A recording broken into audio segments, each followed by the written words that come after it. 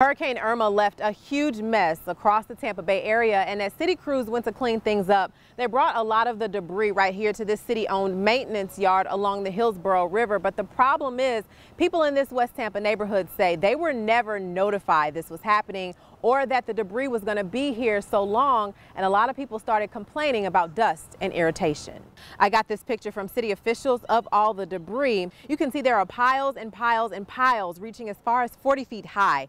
The other frustrating part of this mess is this city-owned yard is a designated brownfield site, meaning there could already be some contamination here. So add that on top of a hurricane and mounds of debris left in a residential neighborhood, and you can understand why neighbors were upset.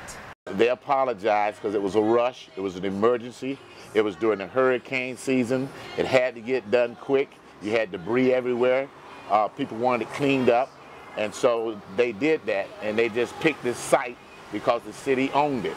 I suggest, why don't you do a major cleanup, man, of the whole CRA, and we'll call it even in the community because we got that dumped on us without our knowledge. The city did agree to do a major cleanup for a big chunk of West Tampa between Columbus, Kennedy, Armenia, and the Hillsborough River. The sweep will take place today and tomorrow, as well as next Friday and Saturday. You can place unwanted household items like furniture, appliances, toilets, and even tires and yard waste on the curb. There's also going to be a community cleanup next Saturday with lunch provided.